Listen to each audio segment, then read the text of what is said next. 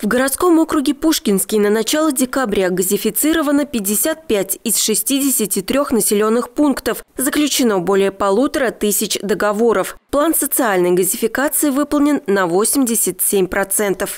Те, кто еще сейчас вводят да, свои э, домовладения, заканчивают строительство, э, могут и сейчас подключиться к этой, вступить в программу социальной газификации, участвовать в ней. То есть э, заявку подать можно и в, на сайте Мособлгаза, и непосредственно обратившись в Мособлгаз. То есть участвуйте, программа работает – Подмосковье голубое топливо по президентской программе уже получили свыше 150 тысяч жителей. Полностью газифицированы 2440 населенных пунктов. В декабре темп газификации будет максимальным. В планах провести коммуникации в 366 сел и деревень.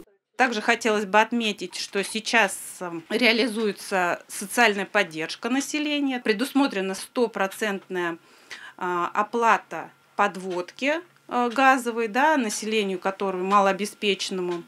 А, это можно в соцзащите все подробности выяснить. И по поводу покупки оборудования внутридомового газового и газовых анализаторов предусмотрена денежная выплата там порядка 80 тысяч рублей. Для удобства жителей в округе регулярно проводят встречи по социальной газификации, а в отдаленные населенные пункты приезжает мобильный офис.